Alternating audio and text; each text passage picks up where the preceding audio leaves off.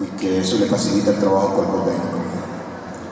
Así que no hay otra, como se dijo por ahí, nosotros venimos a trabajar día a día para, lograr lo que todos quieren. O sea, no es fácil llegar a, a, poner esa palabrita que todo el mundo la quiere de ser campeón.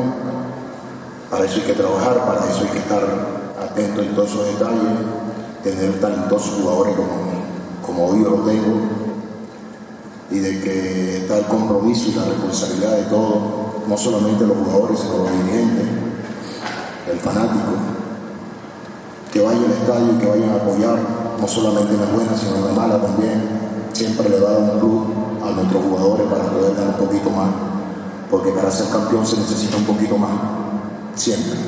Sin olvidarse de estar acá, de llegar a las 6 de la mañana y poder trabajar con la profesional y después quedarse estar con la sub-18, sub-20, la segunda, sub-14, porque creo que hoy es reconstruir las inferiores, darle esa mentalidad o esa identidad ganadora que necesitamos todos, porque acá estamos en familia, acá queremos, apuntamos a un solo objetivo de ser campeón.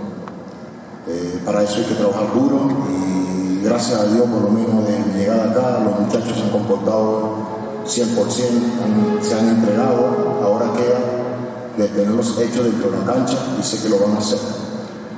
La idea es que cada vez den, más de lo que puedan dar.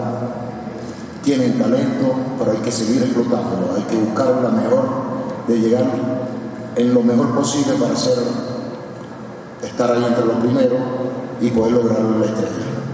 Gracias.